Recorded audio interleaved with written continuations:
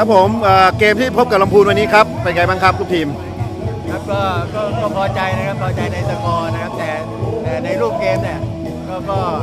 วันนี้เราเล่นรู้สึกว่าคือตัวหลักๆเราไม่ได้มาสองสามตัวฮะก็ก็ยื้อได้ก็ก็ก็ดีใจแล้วนะครับสำหรับวันนี้ ครับเอ่อสำหรับในเล็ก2ครับสักแก้วได้เสริมตัวผู้เล่น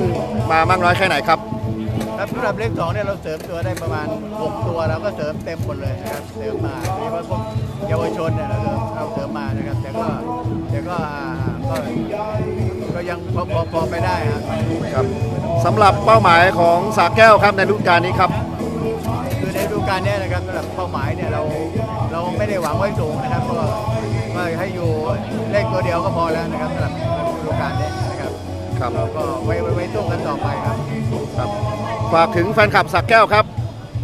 ครับก็ต้องขอบคุณแฟนคลับตะแก้วนะครับที่ติดตามเชียร์กันอยู่นะครับอ่า ไกลๆไม่ได้มาก็ส่งแรงใจมาตลอดนะครับต้องขอบคุณนะครับ แล้วก็หวังว่าอยู่บ้านก็ไปเชียร์กันนะครับ เราก็เต็มที่นะครับต้องขอบคุณอีกครั้งนึงครับ ครับขอบคุณมากครับผม